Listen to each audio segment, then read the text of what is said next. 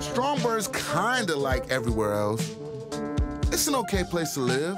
What's up, boys? Sup, Florence? That's because we got Esther. Thick ass for you, thick ass for me. That's one thick ass shake. And a wolf with a cannon on his back. You just tried to kill me. Ask me if I'm sorry. And King Yeti is a good dude. I'm about to turn this party up a notch.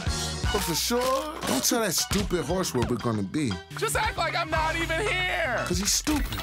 And unless God's being a jerk that day, Yo, dare to clown the Lord?